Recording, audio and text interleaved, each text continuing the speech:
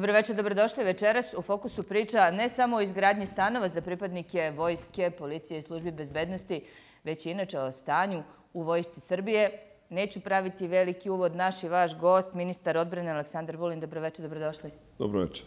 Ministre, da krenemo od ovog polaganja kamena temeljca, u isto vreme Niš i Vranje. Pa bio danas lep dan. Svako se obraduje, naravno, kada može da kaže da je učestvovao u nečemu što će popraviti život ljudi. Predsjednik Republike Srbije, gospodin Aleksandar Vučić, je mnogo insistirao o tome da pripadnici službi bezbednosti moraju da osjeti da ih cenimo, da ih poštujemo. Da ponovno uspostavljamo sistem koji je nekad postojao, a onda je bio planski i namerno uništen. 654 eh, nišlije pripadnika vojske su se prijavile za ove stane. Se prijavile jer vide da tako mogu da reše svoje stambene probleme. Dugo nije bilo tako nečega. Naravno, vojska deli stanove, mi se trudimo, hoću se zahvalim lokalnoj samoupravi, hoću se zahvalim i gradonačelniku Bulatoviću, e, upravo na radu oko rešavanja stambenih pitanja pripadnika vojske, na ispunjenju onih ugovora koji su e, nisu ispunjeni još od 2010. godine, a kada je dogovoreno da se vojsci za zemljište koje je predala obezbede e, određeni stanovi, evo to će se ovih dana realizovati, hvala na tome, ali u cijelini mi ponovo uspostavljamo sistem zato, zbog kog vredi doći u vojsku, zbog kog vredi doći u policiju, zbog kog vredi doći u bezbednostnu informativnu agenciju. Znate, nikad mi sa platama nećemo moći da se merimo sa civilstvom. Ni u onoj Jugoslaviji u vreme JNA nije pukovnik mogao da se meri sa nekim inženjerom. Uvek je plata bila nešto niža. Ali je zato taj pukovnik ili bilo koji pripadnik vojske računao na najbolje lečenje, računao da, da će on i njegova porodica moći da koriste od, uh, objekte za odmor koji su pripadali vojci, da će dobiti stan, da će se o njemu brinuti od početka uh, njegovog ulaska u vojsku pa do kraja života. E mi to sada ponovo uspostavljamo.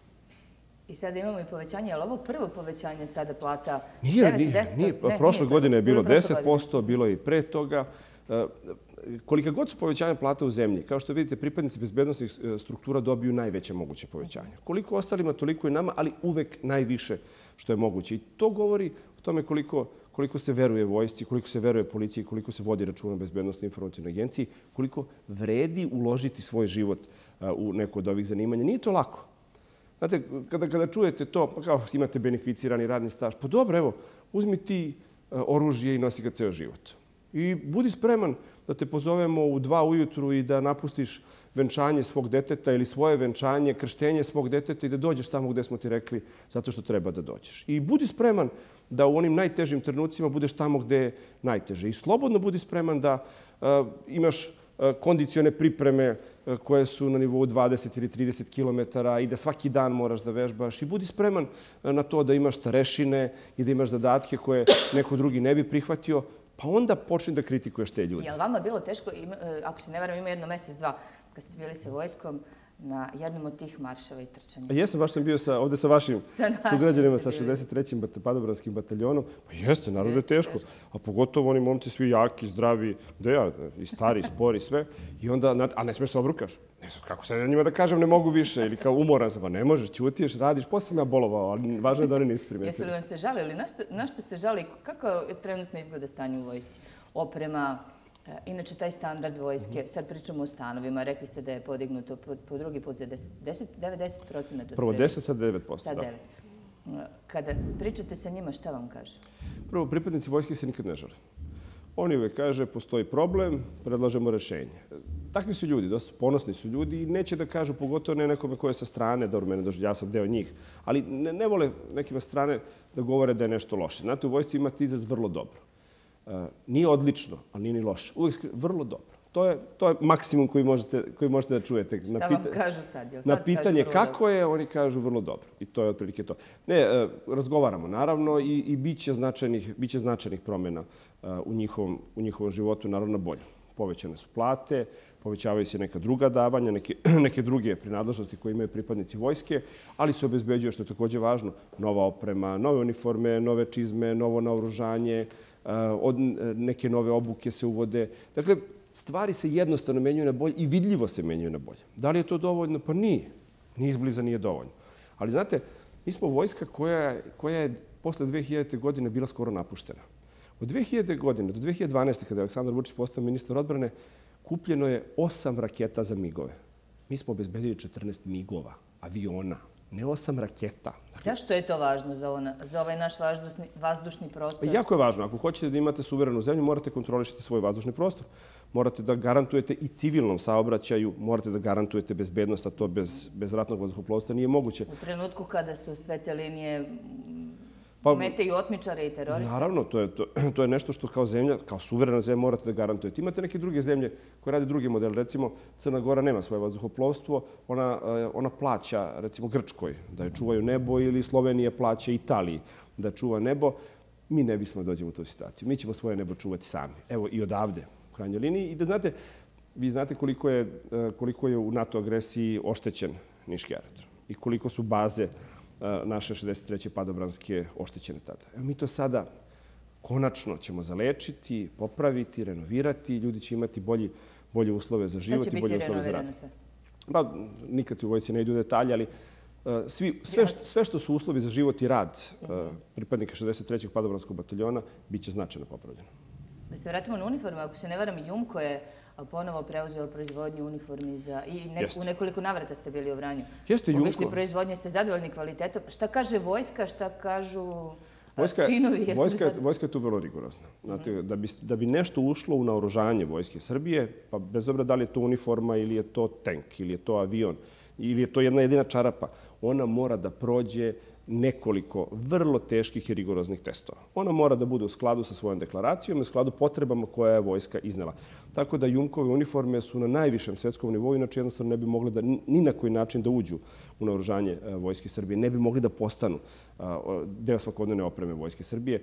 E, TOC, čuveni tehničko-opitni centar, je, ne bi to nikada dopustio. A nije on jedina, a, pazite, on nije jedina institucija koja provera kvalitet onoga što unosimo u Vojsku Srbije. Veoma smo zadovoljni kako Jumko radi. Posebno sam zadovoljan što Jumko zapošljava ljude.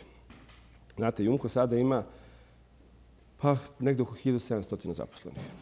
Otvorio je i nove pogone, recimo otvorio pogon u Despotovcu. Tamo je veoma teško naći posao, kao što znate, mala opština, nije, nije na autoputu što stalno uh, ističemo. I uspeo je. Tamo je otvorio jedan veoma uspešan pogon, ali zahvaljujući tome što radi i za vojsku i što radi za policiju. E, nama su potrebne uniforme i naša politika, moja politika će uvek biti da prvo radim sa državnim kompanijama, kompanijama koje zapošljavaju ljude. To je meni merilo svih stvari. Čak više od toga koje je vlasništvo, ko zapošljava ljude. Ako vi imate neku lom proizvodnju, pa dobro, uvezete iz neke zemlje, pa ovdje mi samo malo to našminkate i zaposlite pet ljudi, nemojte ja hoću zaposliti ljude, da pravite to ovde i onda ćete imati podršku države. Ali, evo, i kada govorimo o Jumku, ali ne samo Jumku, nego čite odbrambene industrije Srbije, samo ono što proizvedete je vaše, što sami proizvedete je vaše. Ako ja budem uvozio uniforme, ako budem uvozio čizme, tako banalnu stvar kao što uniforme ili čizme, sutra će mi neko preseći i uvoz čizama i uniformi zato što iz političkih razloga smatra da ja ne treba da imam vojsku i da ne treba da budemo razvijeni, da ne, ne treba da budemo jaki. Samo ono što sami napravite, to je vaše, ništa drugo. Je li to znači da je važan razvoj namenske industrije? Kako nije? Jako, veoma važan. Mi smo ove godine, prošle godine, izvinite, ostvarili promet od nekih preko 600 miliona dolara izvoza. Ukupno odbrambena industrija Srbije plus Jugoimport SDPR. 2012. godine, 2011. godine to je bilo na nivou 40-50 miliona. Pripremali su odbrambenu industriju za gašenje, za privatizaciju, da uzme svako šta kome odgovara i da se to ugasi. Sada odbrambena industrija Srbije zapošljava oko 12.000 ljudi. Dakle, ekonomski više nego opravdana, a u bezbednostnom smislu, ako ja pravim svoju municiju, to je moja municija. Ako ja pravim svog lazara, to je moje oklopno vozilo. Ja ću ga praviti i ja ću ga koristiti. RV i PVO su također doživjeli, kako kažemo, rehabilitaciju našim civilnim rečnikom rečeno, a vi kao ministar kažete šta? Pa da nije bilo Aleksandra Vučića i njegovog dogovora sa predsjednikom Putinom i njegovog dogovora sa predsjednikom Lukašenkom, naše ratno vazduhoplostvo bi se ugasilo do sada. Znate, 2012. godine kad je on došao na mjesto ministra odbrane, e, bilo je dana, dana, nedelja i meseci da nismo imali ni jednu ispravnu letilicu koja je mogla da čuva naše nebo. Ni jednu. Imali smo ukupno četiri miga, Od toga jedan nikada nije leteo, nego je on e, služio samo za čerupanje. Oni kažu kanibalisanje. Dakle, uzimanje delova. Ništa više. On je služio kao jedan veliki rezervni deo sa koga se skidalo kada se ova tri kvare. A kvarilo se stalno. Mi danas imamo deset. Danas imamo deset migova 29, imat ćemo još četiri. Imat ćemo 14 migova 29. podignuta u određenom periodu na nivo generacije 4+. Šta to znači? Pa to znači da, je to, da su to jedni od najsavremenijih aviona na svetu. Ne možemo mi da se, i nikad nećemo moći se merimo sa MIG-ovima 31 ili, ili najnovim Suhojima ili F-35. Znate, jedan aparat košta 100 miliona dolara. Da se, da se mi ne zanosimo time. Ali u odnosu na region imat ćemo najbolje i najsavremenije avione. A to je ono što ime treba se merimo. Kad već pričamo o aviaciji, u kakvom su stanju aerodromi vojni Lađevci, ovaj naš ovdje u Nišu?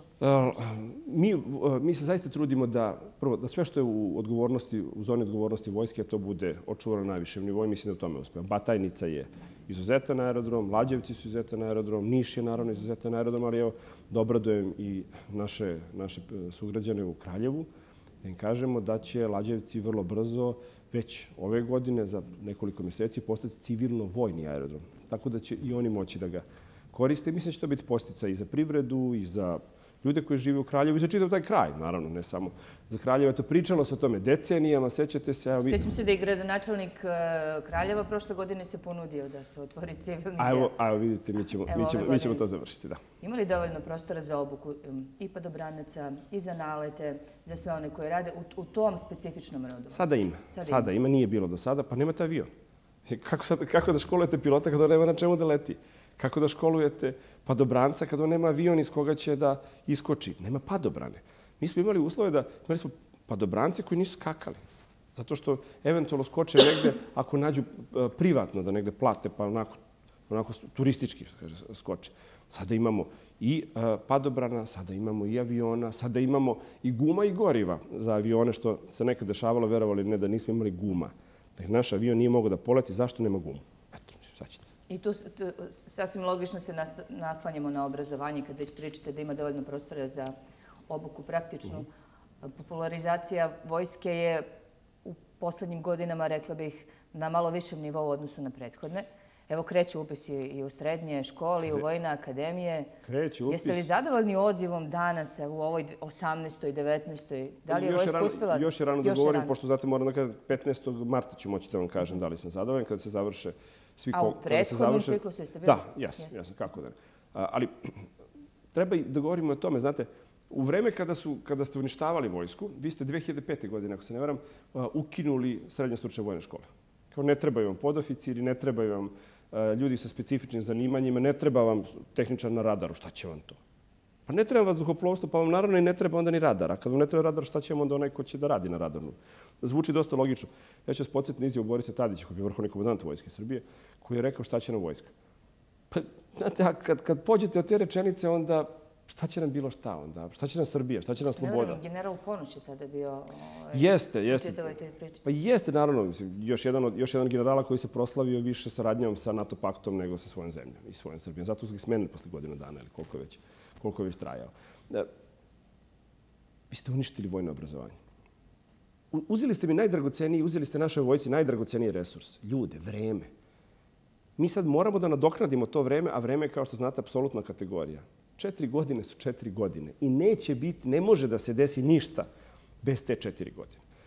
Ja stvarno pozivam sve koji vole vojni poziv, sve koji vole sigurnost i izvesnost u životu, da dođu u Vojsku Srbije. Pogledajte sad, evo, ovih dana ćemo vrlo brzo negde oko, oko dana državnosti našeg uh, otvoriti potpuno renovirani vojni internat. Roditelji koji pošalju svoju decu imaće čime da se ponose jer su obezbedili najbolje moguće uslove za svoju decu. Njihova deca će spavati u dvokrevetnim sobama, njihova deca će spavati u sobama koje su, koje se, koje su hotelske.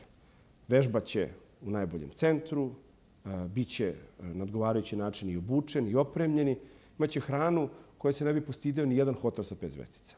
Znate, nije to, to nije vreme manjerki. Naša deca, kada su u vojnoj gimnaziji, kada su na vojnoj akademiji, jedu sa bar tri obroka, sa bar tri različita jela za jedan obrok. Bar. I ja sam jako ponosan na to. Ja beskreno volim tu decu. Poštujem njihove roditelje zbog hrabrosti. Nije lako. Svi smo mi roditelji. Zamislite, samo treba da ga poljubite i da kažete ideš u internat, ideš mi u drugi grad. Sa 14-15 godina. Ideš mi negde, nećeš mi biti tu svaki dan da te vidim, da te probudim, da te, da te uspavam. Da... Ali znaš zašto si to radio? Prvo poslao si ga zbog svoje zemlje, jer voliš svoju zemlju i on voli svoju zemlju. Poslao si ga u najbolje Poslali ste ga tamo gdje će mu biti dobro i udobno i gdje će se voditi računa o njemu i gdje će se brinuti o njemu od sad pa do kraja života. O tome šta će obući, gdje će spavati, šta će jesti, šta će biti sutra sa njim, gdje će raditi, gdje će stanovati. Mi, ćemo, mi brinemo o svojima. Evo, samo da vam dam kao mali primjer upravo te brige. Eh, u, u Beogradu ove godine planiramo da počnemo sa radovima na gerontološkom centru za vojna lica. Kada se sve završi, vi ste za nas i dalje oficir, vi ste za nas i dalje podoficir, vi ste za nas i dalje pripadnik Vojske Srbije, brinut ćemo o vama i tada. Hoće li imati neke povoljnosti boravak u gerontološkom centru? Pa bit će za vojna lica, na prvom mjestu. Oko dakle, plaćanja, mislim. Pa, naravno. Ne sumnjam da će naravno, uvek, uvek će vojska, uvek će vojska voditi računa svoje. Samo još trenutak da se zadržimo na obrazovanju. Koliko naše obrazovanje, vojno obrazovanje, prati svetske trendove? Pa, naše vojno obrazovanje, da, možemo da budemo zaista ponosni. Nama vrlo često dolaze gostujući predavači i na Vojnu akademiju, pa i Vojnu gimnaziju, ali na prvom mjestu Vojnu akademiju i onda sve one oblike usavršavanja. Mi znate, imamo i visoke studije bezbjednosti i odbrane koje, e, gde dolaze i pripadnici drugih e, oružanih snaga, gde uče od nas, mi učimo od njih, ali na tim e, kursevima mi imamo i strane predavače koji dolaze i sa zapada i sa istoka.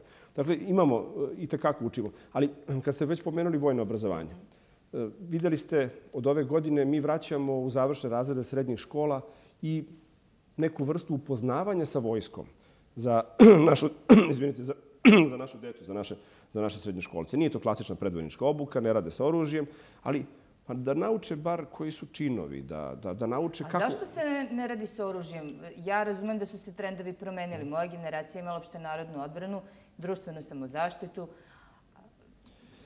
Zašto bi to nije, danas bilo neprihvatljivo? Ja ne mislim da je neprihvatljivo. Mislim da je organizacijalno problematično. Treba Dobro. sad obezbediti nastavnika koji će to da radi, oružje kojima ćemo to da radimo. Treba promeniti klimu društvu. Znate, čim to krenete, odmah će početi da spremate nam decu za rat, šaljete ih. Ne šaljemo nigde. To bi rekli roditelji koji su sami prošli taj. Pa, ono ide se za... Znate, ne šaljemo vas nigde, ali šta je loše od toga da vaše dete zna šta je vaša vojska, kako izgleda, koja je njena upotreba i da nauči bar osnovne stvari pre nego što počne da se bavi nekim drugim stvarima u životu, bar osnovne stvari kako pomoći nekome u nevolji, e, kako se reaguje na određeni signal. Pa, pa svaki dan pogled vidite daleko bilo, ali može se desi saobraćena nesreća, požar, zemljotres, poplava. Pa ajde, a šta nas košta da naučimo nešto? I šta nas košta da to naučimo od nekog oficira? Da nam on, da nam on to kaže. Svuda u svetu svako osjeti ponos kad vidi u svoju uniformu, kad vidi svoju vojsku, kad vidi krb svoje države.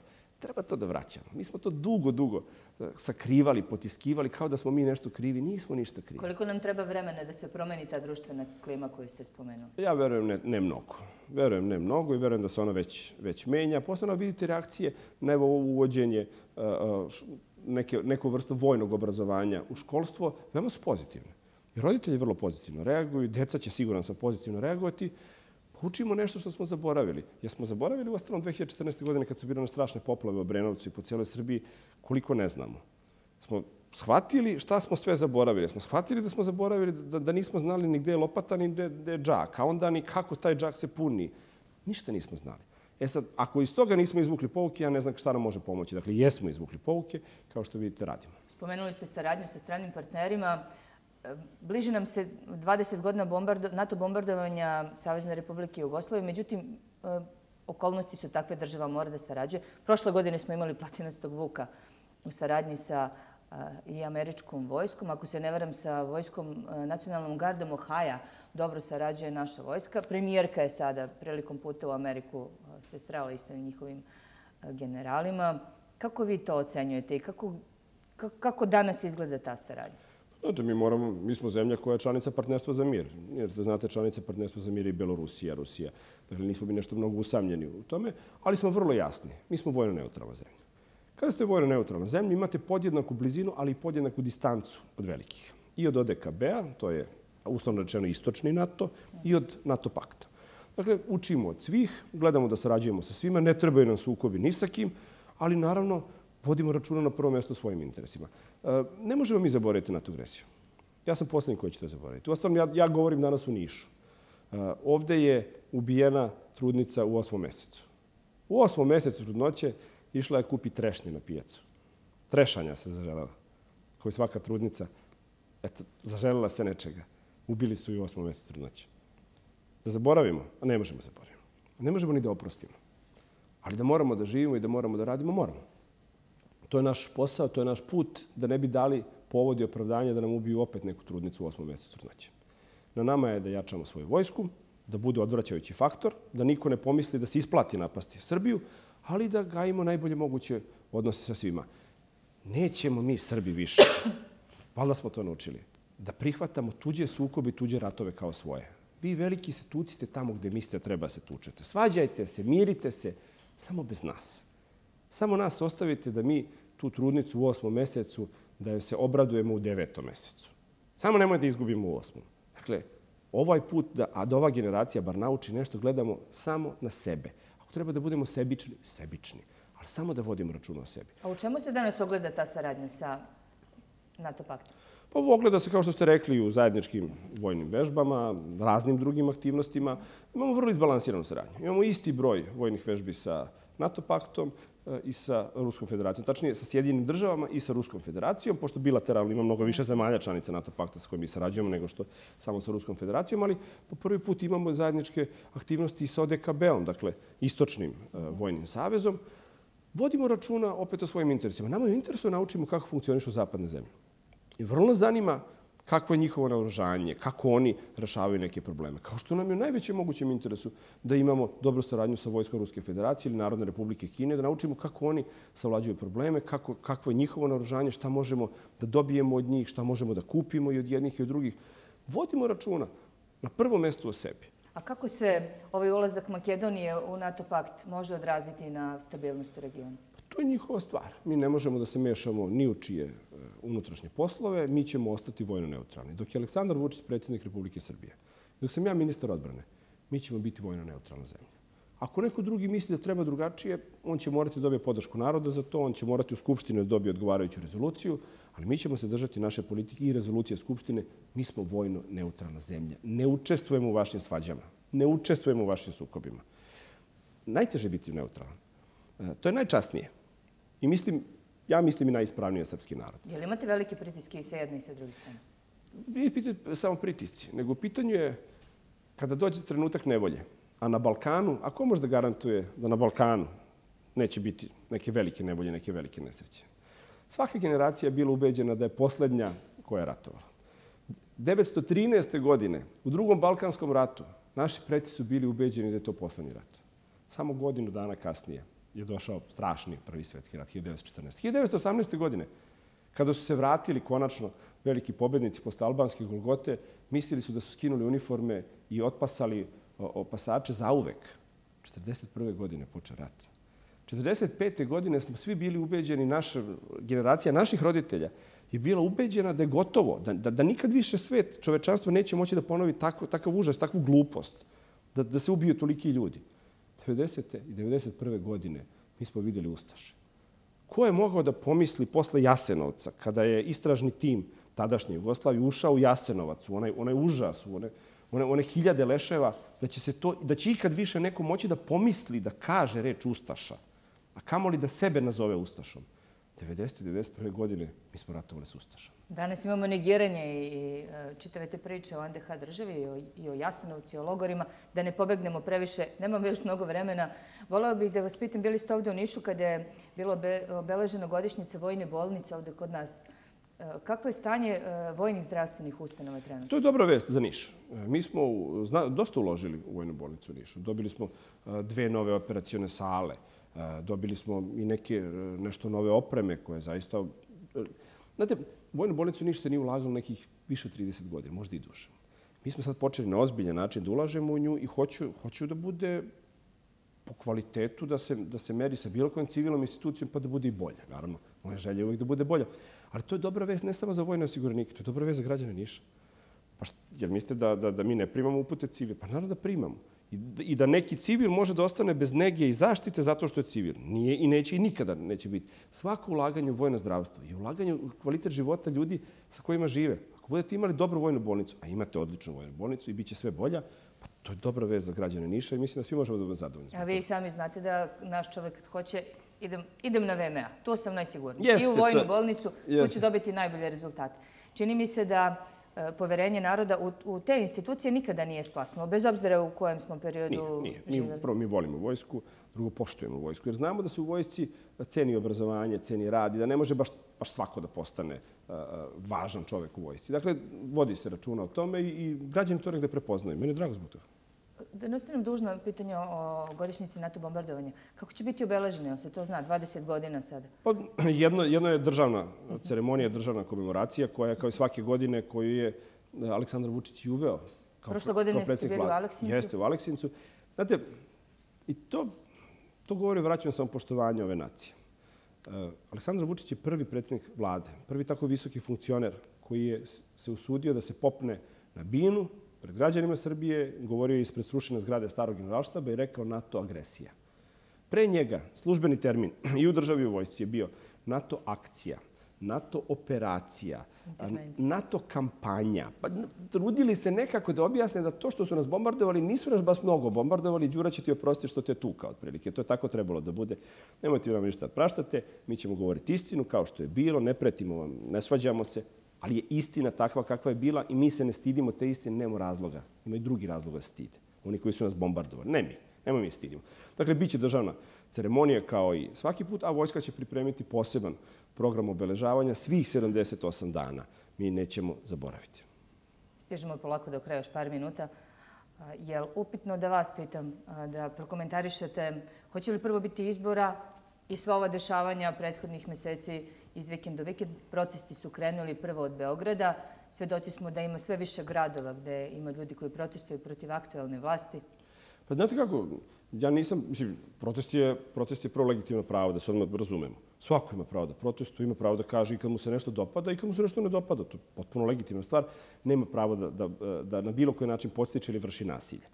Nemoj nikom da ugrozimo imovinu, nemoj ni jedan izlog da strada, nemoj ni jedan čovek da strada na bilo koji način. To ne sme. Ovo ostalo potpuno legitimno i ja to doživljam kao izraz demokratije u krajnjoj liniji u našoj zemlji. Ono što je meni zanimljivo, to je što se svi protestanti slažu oko jedne stvari, pošto su dosta različiti, da predstavnici opozicije ni slučajno ne smeju da budu ni deo protesta, ni deo buduće vlasti. I što je vrlo zanimljivo, predstavnici opozicije potpisuju neki ugovor s narodom, ili kako se to već zove, i kažu, mi, ne brinite, mi nećemo biti na vlasti. Nemoj ništa da se sikirate, mi sigurno nećemo biti u toj vladi, evo, nek bude bilo, evo, da znate, mi nećemo biti u toj vladi. To je vrlo zanimljivo. Znate, ste mogli vi da zamislite, setite se oko 2012. godine, kada smo tadašnja opozicija, mi smo bili u tadašnjoj opoziciji, predsjednik Vučić, ja i mnogi drugi, mi smo se, tražili smo izbore. Naš jedini zahtjev bi su bili izbori. Ne izborni uslovi, to ma kakvi? Izbori. Samo nam dajte izbore. I jeste mogli vi tada da zamislite da smo mi gurnuli ispred sebe glumce i pevače, da drže govore, a mi tako eto šetamo u petom redu i kažemo ne, ne, nećemo mi biti na vlasti. Ne, hoćemo. Mi smo izašli pred narod sa svojim imenom, prezimenom, biografijama i svojim programima. Ne da se sakrijemo, nego da kažemo mi hoćemo da vodimo ovu zemlju, dajte nam poverenje. Ove, kao što vidite, oni se sklone iza neke dece, puste neku decu ispred sebe, nađu nekog glumca, a onda oni stoju u petom redu i kažu kunemo se, mi nećemo biti na vlasti, znamo da nas ne želite, ali samo da ne budu ovi ako je moguće, a postiti koji god hoćete. To, to je dosta neobično. Prva opozicija za koju sam čuo da neće izbore. A hoće li biti izbor? Pa ne znam, ako se ja pitam, da. Ako mene pite za moj stav, apsolutno. Zašto?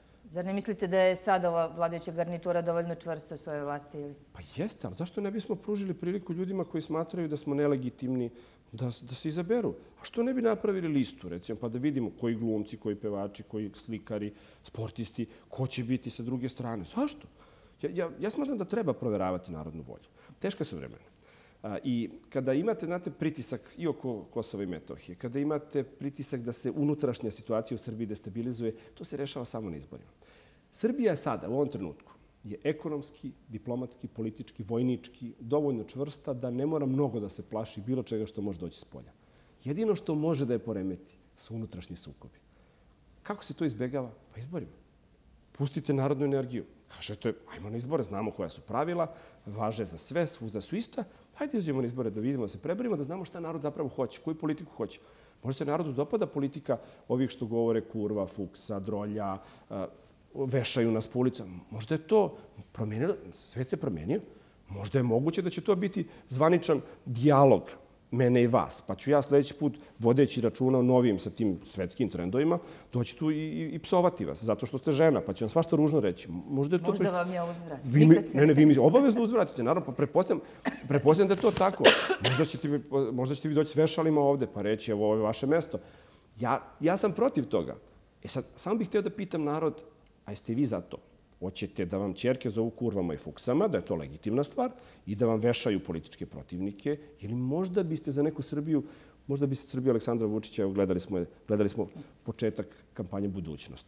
Jeste vidjeli kako izgleda to? Jeste vidjeli rezultate kojim se čovjek pohvalio? Nije on došao i držao govor, nego rekao ovaj most, ova fabrika, ovo radno mesto, ovaj autoput, je to s neba palo? Je to deo eh, režimske propagande? Je to stajao neko sa strane pa hologramima to napravi ili ćemo se mi voziti preko tih puteva ili ti ljudi rade u tim fabrikama? To je istina. Sve ostalo je vešala, vređanja, pljuvanja, ponižavanja i obećanje nećemo mi, časna reč, bit će neko drugi, samo glasajte za nas. Za kraj, da se vratimo na vojsku, da li je vojska Srbije spremna šta god da se desi po pitanju razgraničenja sa Kosovom i Metohijom i kada je u pitanju eh, bezbednost naših granica?